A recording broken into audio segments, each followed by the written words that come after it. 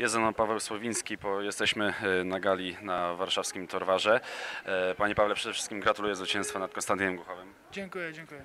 E, No a jednak Konstantyn Głuchow na początku postawił ciężkie warunki, poprzeczka była wysoko postawiona z jego strony.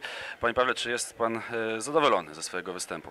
Tak, walka, no zadowolony z walki, troszkę byłem os- ospany w pierwszej rundzie, no bo długo, długo naprawdę leciałem. No ale to kopnięcie mnie trochę budziło, no i dobrze się stało. E, Parę ciosów e, Głuchowa doszło celu, czy jakoś e, w którymś momencie naruszył, naruszył Pana, czy te ciosy były silne? Tylko to kopnięcie mnie po prostu zwaliło na nogi, no ale to było, to było w sumie, to, to się w sumie dobrze stało, bo po prostu się obudziłem i, i musiałem po prostu działać w ten sposób, nie? Także to się dobrze stało.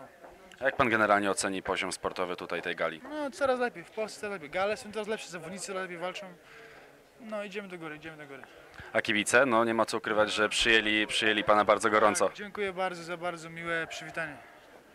E, A jakiś e, komentarz e, w sprawie walki finałowej? No nie ma co ukrywać, że Tomek prowadził do, do, do momentu knockoutu na punkty. Jak Pan skomentuje ten, ten pojedynek? Nie widziałem walki, sorry. Właśnie się przy, byłem właśnie z tyłu się przybierałem na zapleczu, nie widziałem walki. Ale obejrzę na Eurosporcie, na pewno. E, Panie Pawle, jakie teraz e, plany najbliższe? E, wracam do domu na święta, do domu znaczy Australii, do mamy, do brata i no, zacznę przygotowanie na walkę 29 maja w Bukareszcie. A kto będzie wtedy przeciwnikiem? Co to nie jest za gala? wiem jeszcze, nie wiem jeszcze, dopiero jesteśmy w, w trakcie rozmowy z panem Donatasem, także zobaczymy.